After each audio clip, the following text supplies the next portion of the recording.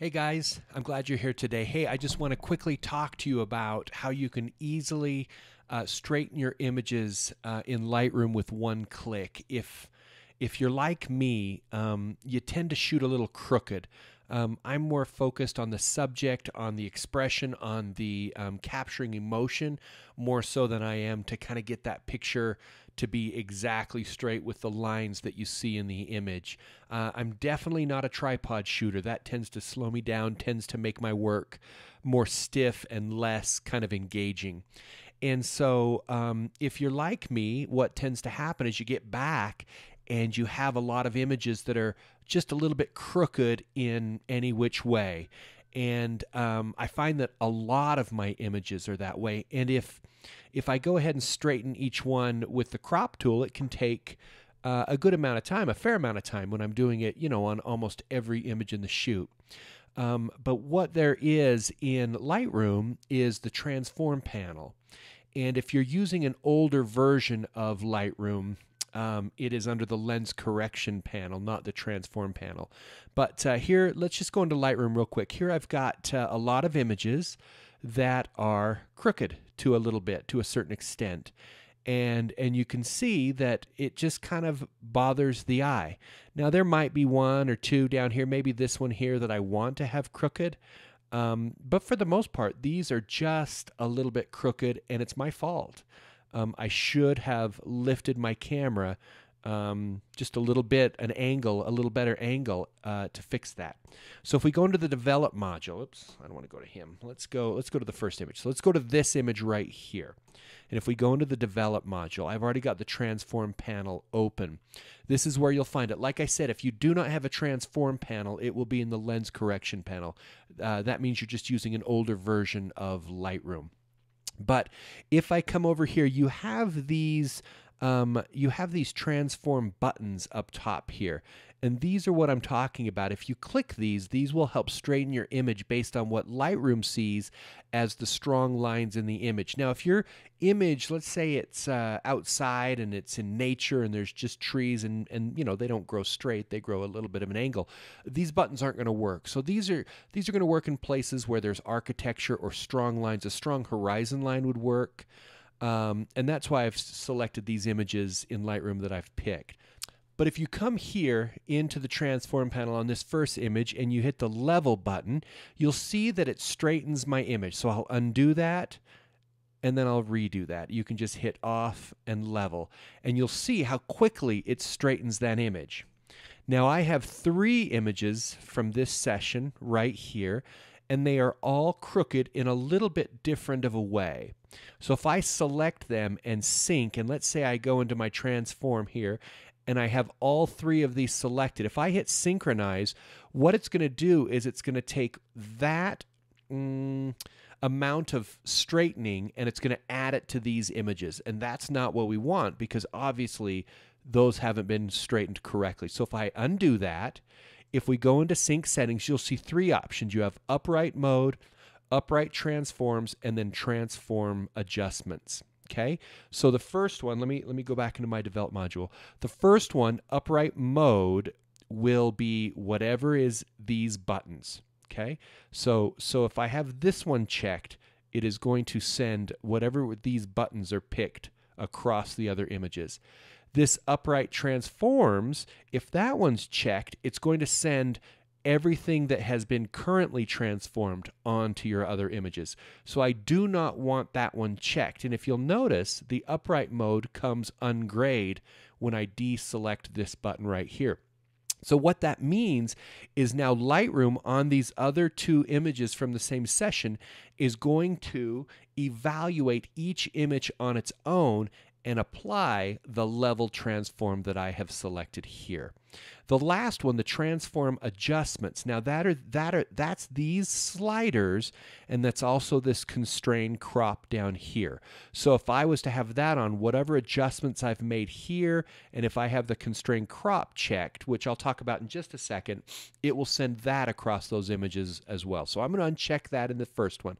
So the only thing that's going to come across is this level button of the upright mode being selected, which means these other three images will be evaluated on what um, what their crookedness is. So let me go first off into the library module so we can see it happen.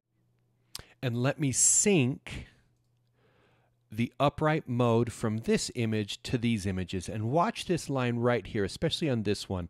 Watch how it straightens based on what it needs, not on what this not on how this one was straightened. Okay, do you see that? So now that image is completely straightened. And I, I didn't have to go in and crop it. Uh, in fact, all three of these images were shot in the same um, place. So, so I could honestly take these two images, I could reset them completely. Okay, so they're back to to um, how they were raw. I could come in here and check all, but if you'll remember, I've got to turn these off. Okay, and now you'll see that not only does it synchronize the um, the contrast, the exposure, everything that I've done on this image, it also is synchronizing the straightening of the image. So those three images to work on took me as much time as it took me to edit this one image. And if I've got 15 in the same spot, that just saved me a ton of time not having to come in and straighten each one of these images independently. So let's move down a little bit and let's look at some other ones. Um, let's look at this senior right here. We've got all of these images that are crooked. Now some of these, um, you know, I might I might like to leave crooked, so you don't have to do it all the time. But uh, but if I let's just do it really quick. I'll go in the develop module here.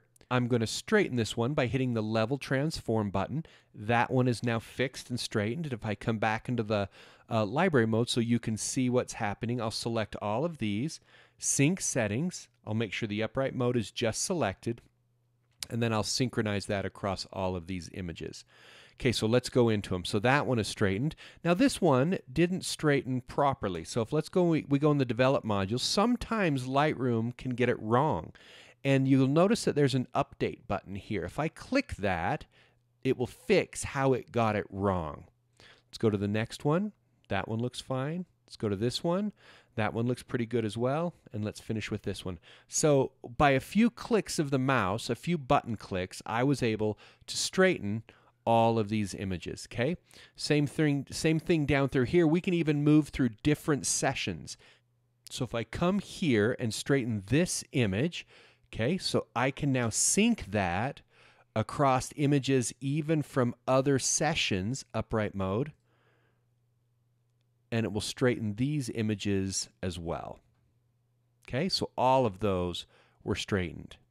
Now there's something called in the transform, there's something called the guided um, transform. And here's where you draw lines on the image to get um, the straightening that you want. Now you'll notice on this one that I have um, a lot of bit, a lot of lines going a lot of different directions, and so you get a total of four lines that you can straighten.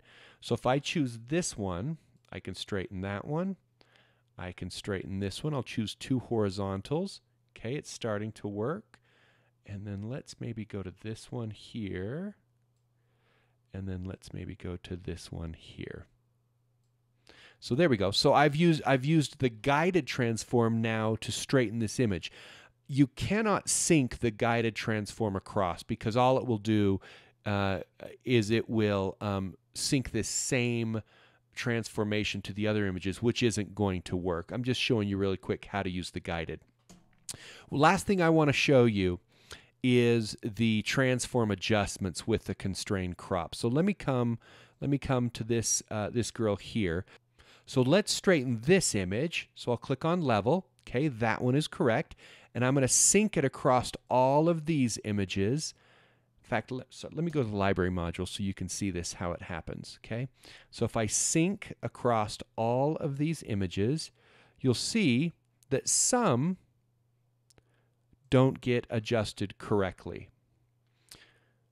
Okay, so take a look at this one.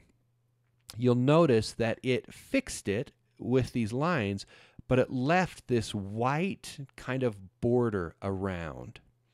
Okay, and, and that is where the constrained crop comes into play. So if I had that clicked, it would automatically remove those white borders for me. But the problem with that, I, I'll go into the crop tool, is you'll notice how high up her leg it has cropped.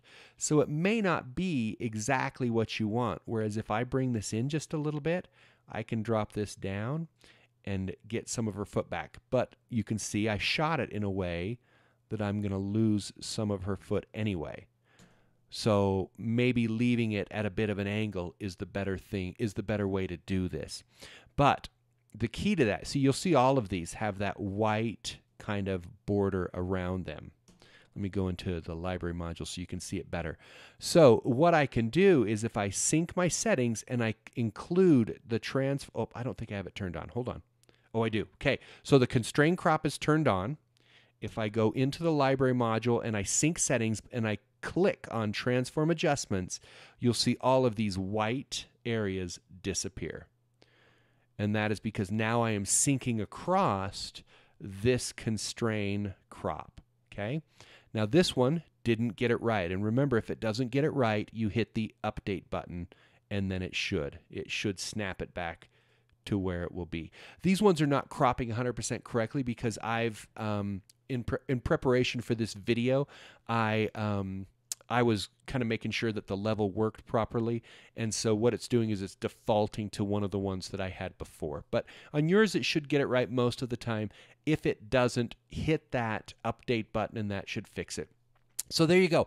I use this all the time. So when I sync settings from another image to um, sync settings from one image to another, I will have this turned on and these turned off unless I want that constrained crop left on, and then I leave that one on right there. So hopefully this will speed you up as you edit. Hopefully it's a tip that can uh, benefit you, and uh, we'll see you next time. Thanks.